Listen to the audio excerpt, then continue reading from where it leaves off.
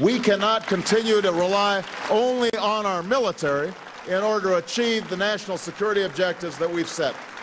We've got to have a civilian national security force that's just as powerful, just as strong, just as well funded.